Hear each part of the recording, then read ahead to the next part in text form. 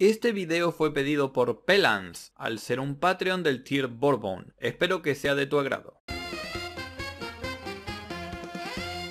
Desde más o menos 2012, con la salida de Sword Art Online, las historias sobre supervivencia en entornos fantásticos ha incrementado considerablemente. Tanto es así que ya pasamos el tema de atrapado en un videojuego a transportado a un mundo diferente, los tan aclamados Isekais. En estas historias el protagonista suele ser un ser humano de nuestro mundo, y que por algún motivo es transportado a un mundo diferente para ayudar a derrotar al rey demonio o simplemente porque así lo quiso.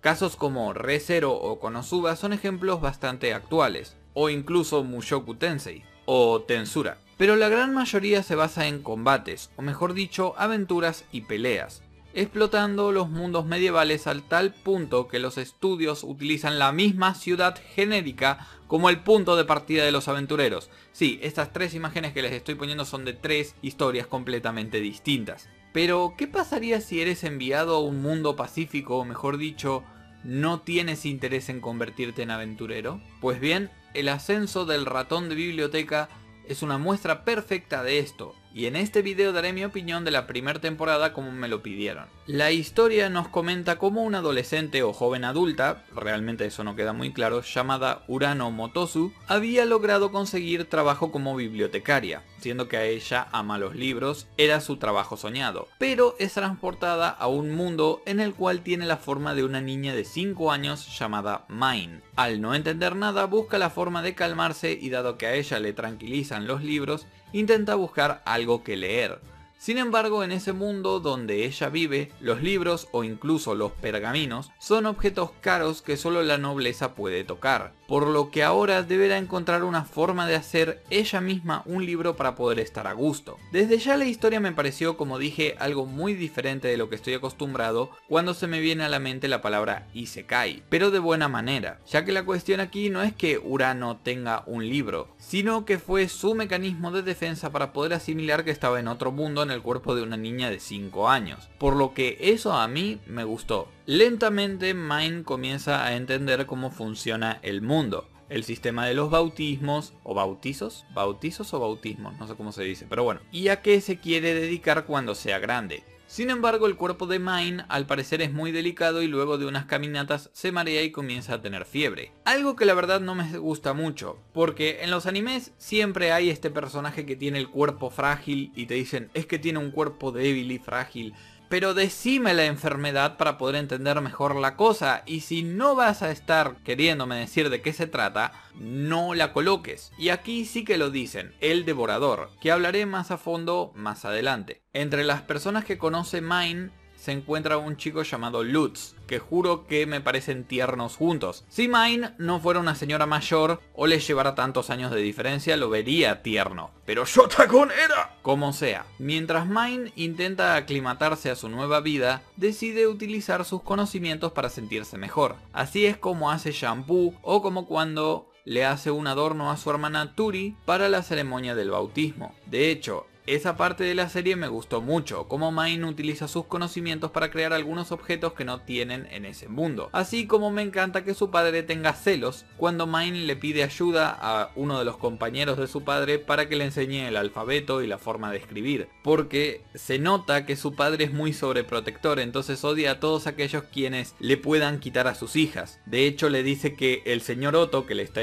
enseñando a escribir y demás, está felizmente casado. A una niña de 5 años, Dios mío. O incluso también le pasa con Lutz cuando estaban entrando en la catedral y unas mujeres empezaron a decir parece un matrimonio en miniatura y el padre de Mine se quedó como que ¡No me las quites! Me encantó. Mientras los días pasan, Mine intenta por todos los medios hacer libros, pero sufre un fracaso tras otro y cuando estaba por rendirse y dejarse llevar por la enfermedad, recordó una promesa que había hecho con su amigo, el presentárselo a un mercader, porque en ese mundo las únicas personas que pueden ser mercaderes son aquellos que tienen contactos. Si vos naces en una familia, lo normal es heredar, o mejor dicho, continuar la tradición familiar del trabajo. Y aquí es donde llegamos a mi parte favorita de la historia. Mine dándose cuenta de que sus conocimientos pueden ayudarle a ganar dinero. El hecho de que sea tu conocimiento lo que te permite prosperar me parece de las cosas más empáticas, porque el mundo real es así. Cuando vos tenés una idea o sabés hacer algo que a la gente le gusta,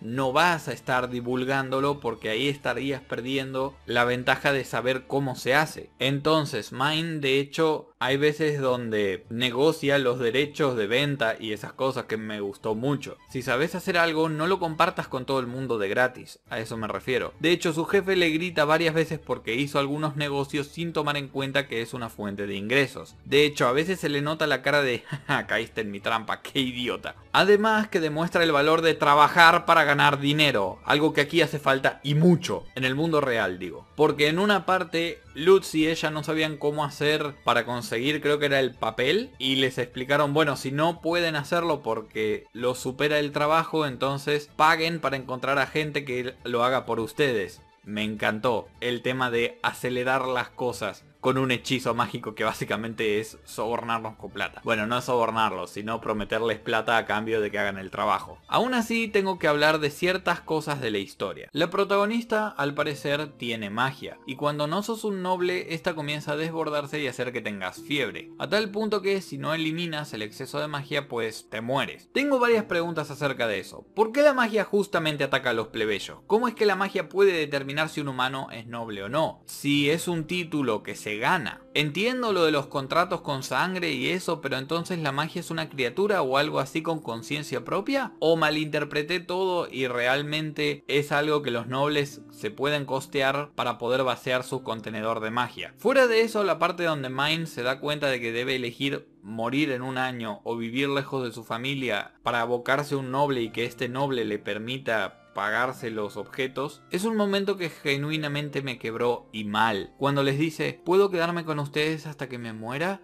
Yo dije, no, ¿quién está cortando las cebollas? ¿Por qué la puta madre? Cuando es el turno de que Mine sea bautizada, se da cuenta de que en la catedral hay muchos libros, por lo que quiere estudiar ahí. Y cómo no, iban a haber problemas con los plebeyos y los nobles y la iglesia, etcétera, etcétera, etcétera. Sin embargo, Mine, al tener un problema con el patriarca, ya que querían usar a Mine para tener magia, y al saber que sus padres no son nobles, por poco los matan para quitársela, haciendo que la prota pele sus poderes y por poco mate al patriarca. Cosa que me encantó, es como que, ah, te estás intentando hacer el vergas. Bueno, te ahorco. No, en serio, fue así, increíblemente turbio. De esta forma, Mine podría vivir mucho más tiempo y terminando la primera temporada de una muy buena forma. Pero tiene un pequeño fallo la serie que me hace bastante ruido. Se supone que Mine es una chica de 5 años al inicio. ¿Me pueden explicar cómo a nadie le parece extraño que una niña así pueda hacer sumas, pueda escribir, pueda crear cosas para vender como shampoo, adornos, setas, etcétera? Quiero decir, Lutz se dio cuenta lentamente que ella no era la Mine que él conocía y que al parecer la otra Mine murió. Pero, ¿de verdad? Entiendo que su familia no esté muy al tanto porque están alegres de que esté bien y eso. Pero de verdad al único que le pareció extraño fue a un niño que, de nuevo, entiendo porque está interesado en ella y la ve constantemente. Pero a los supuestos adultos, ¿no les parece raro que una niña pueda comerciar teniendo 5, 6 o 7 años? Ni siquiera es de la nobleza como para decir, oh, son sus genes o oh, viene de tal familia que es súper inteligente. No, ella viene de un soldado y de una costurera. Que de nuevo estamos hablando en un mundo medieval donde no toda la gente lee. Fuera de ese único punto raro, creo que el Isekai del ascenso del ratón de biblioteca es una historia muy bonita. Sí, me niego a decir ese nombre larguísimo en japonés o decirle el gusano de biblioteca porque así lo llaman en inglés, por eso bookworm. Lo que me gusta no es porque se trata en sí de los libros, sino de que la protagonista debe aceptar vivir en un mundo diferente con una familia nueva que terminó aceptando y queriendo. Recordemos que ella al principio no quería tener nada que ver y lo único que quería era